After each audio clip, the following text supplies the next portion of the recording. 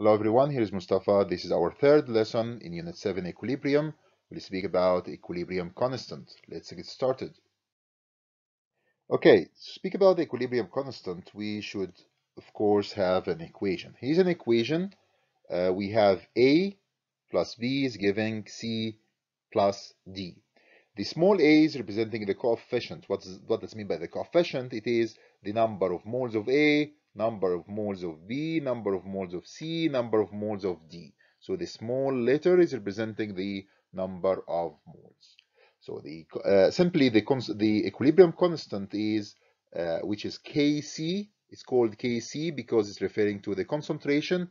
It is the concentration of the products to the power of its coefficient, concentration of of uh, of the products. So we have the concentration of C to the power of C concentration of D to the power of D over the concentration of reactants, as you can see here, where of course we have the square brackets are representing the concentration in mole per cubic decimeter.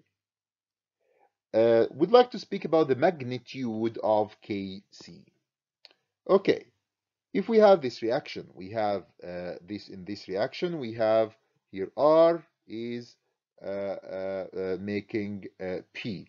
Reactants is, are reacting to make products. So we have the small letters again are representing the number of moles of the reactants and the number of moles of the products. What, and of course, Kc is uh, uh, the concentration of P to the power of P, uh, concentration of R to the power of R. what if uh, Kc is very large. What does it mean by Kc is very large? What does it mean by Kc is very large when Kc is much bigger than 1?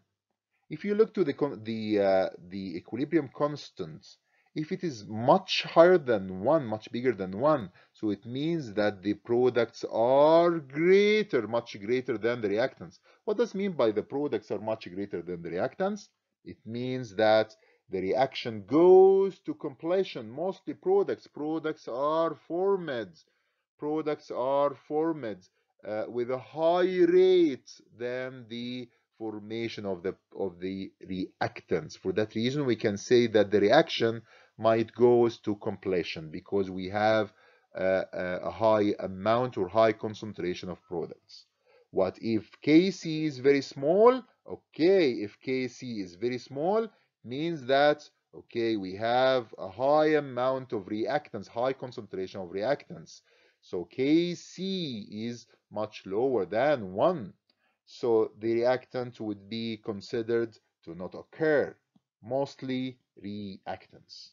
Hope you understood the equilibrium constant how we can write the expression or the formula for the equilibrium constant? Simply the concentration of the products to the power of their coefficients over the concentration of reactants to the power of their coefficients.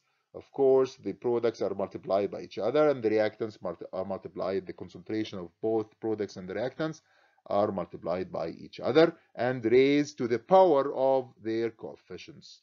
Then we have here the magnitude. We simply can identify if K, K, y Kc is uh, much higher than 1 or much lower than 1 based on the formula when we look at the concentration of reactants or products.